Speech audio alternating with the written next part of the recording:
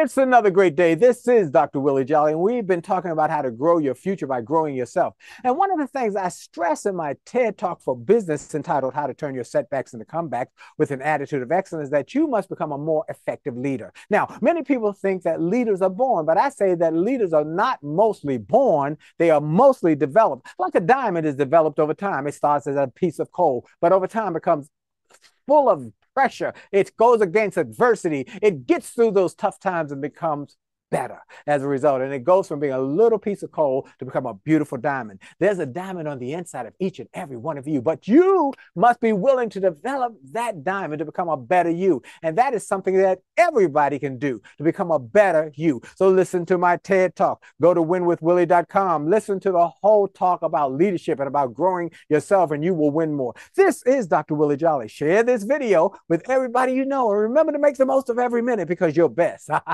is still yet to come. Make it a great day.